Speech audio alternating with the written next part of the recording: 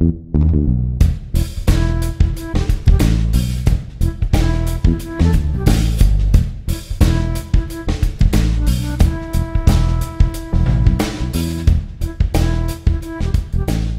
everybody, I am in San Jose, Costa Rica, and today I'm going to be talking about peach palm. It uh, is pretty cool looking. It kind of looks like a little tomato, kind of, but it's actually a palm fruit. Uh, I also have these yellow varieties, which I think might be the same thing.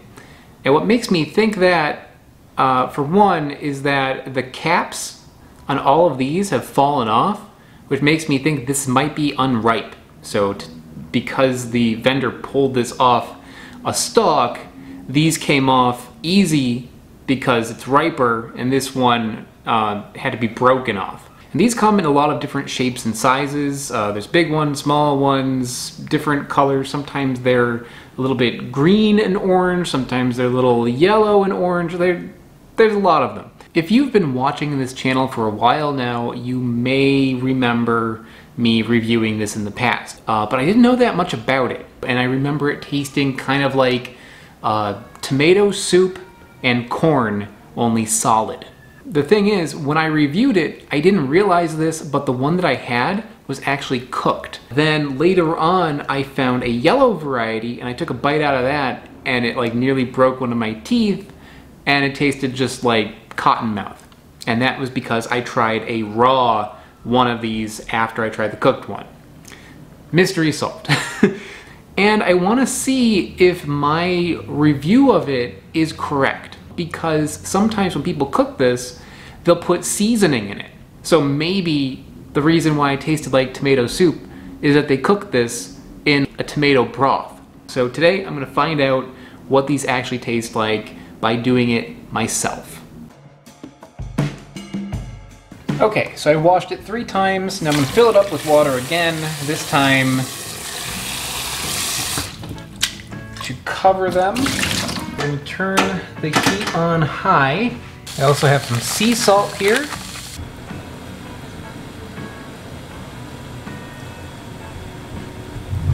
Alright, so these were boiled for about an hour. And I think they're probably done. I don't think it needs to cook for quite that long. And sometimes when you find these for sale at markets, they'll actually be just sitting in a big pot of water on a simmer. So you can cook them too much, but you don't want to undercook it.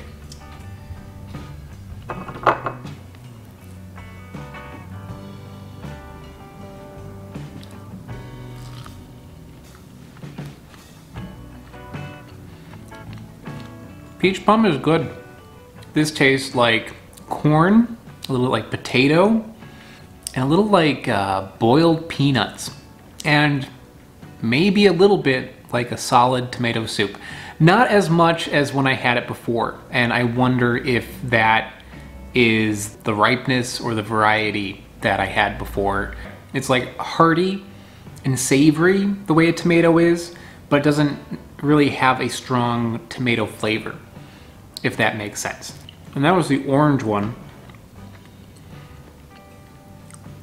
Let me try the yellow one. This one feels harder.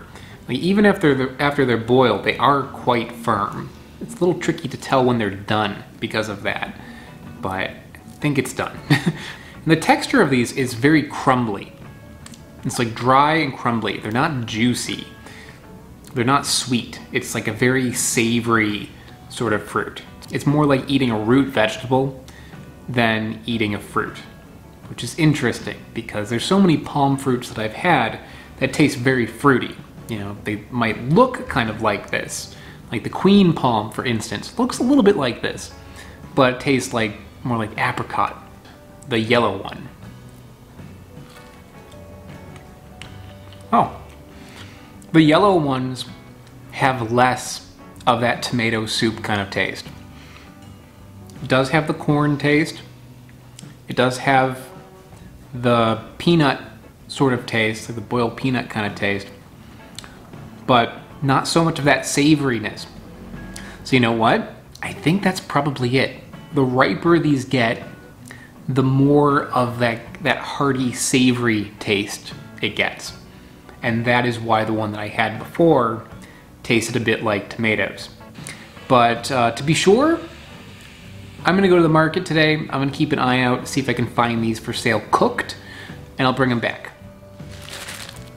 I got some. And these are different. Look at that. Much bigger. These are much bigger and much darker. Which makes me think that maybe it's a different variety, but um, I feel like these have ripened more.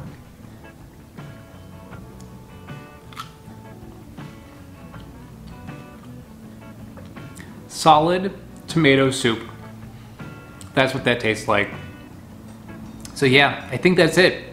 I think as they ripen, they develop that taste.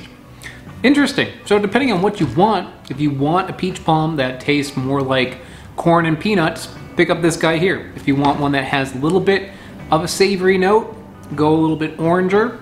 If you want something that has uh, a lot of that note, almost where it tastes like tomato soup, pick up one that is nice and red.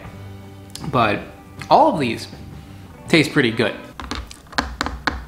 Okay, so there's one more thing that I want to try with this guy here. This is what I hear is the most popular way to enjoy peach palm.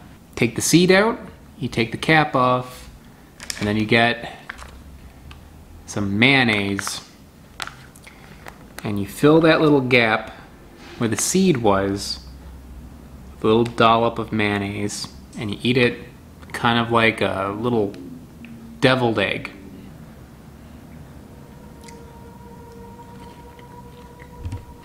Probably should have peeled that. I'm not the biggest fan of mayonnaise.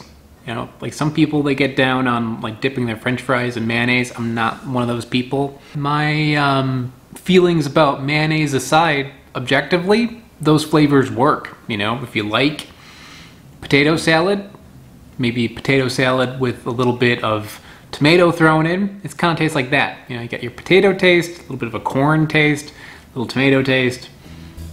It works.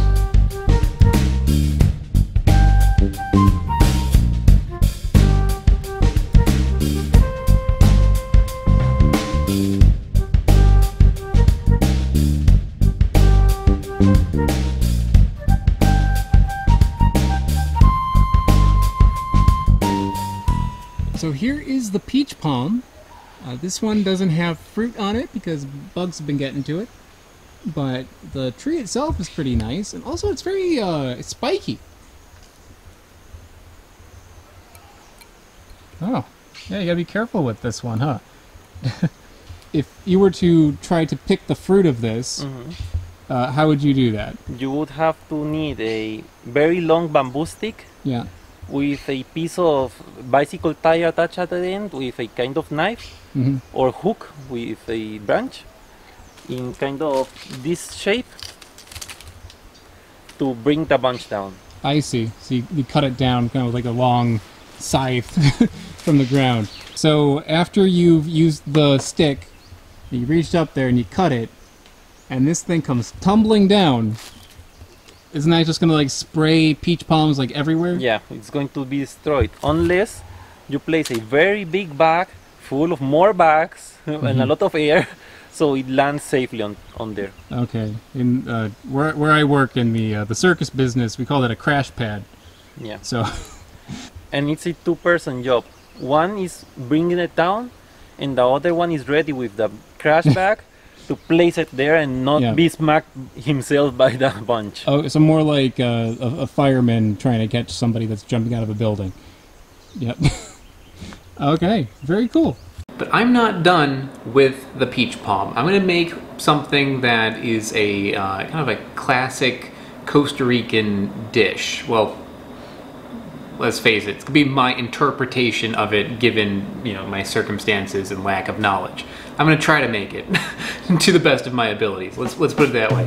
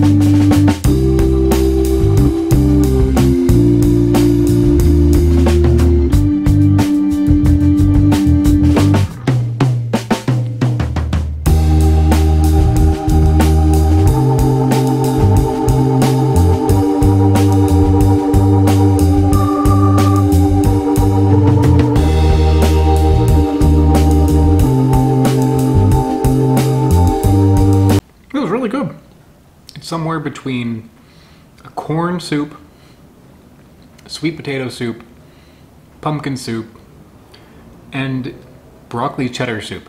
It's got like a little almost cheesy sort of flavor to it when you add the milk to it. The addition of the lime and the cilantro, also a really good idea. I wasn't sure how this would go. I thought it might be a little too intense with that much peach, peach palm in there, because peach palms are, know, they're very thick, they're very uh, dense. I didn't know how that would translate in a soup. Turns out, works really well. So yeah, I'm really happy with this, and uh, I'm gonna go and have my dinner. So I will see you all next time. Bye. I would like to give a big shout out to Loftyrex and Smarter Every Day. They are mega patrons over on patreon.com. Patreon.com is basically how I can afford to go on all the adventures I do on this channel. So if you enjoy my series and you want to help support me, check out the link in the description below. If you don't want to go on Patreon, I also have t-shirts for sale like this one here, the Durian Anatomy shirt. That is available on my website, which I also put in the description below. Thanks so much, everybody. See you next time.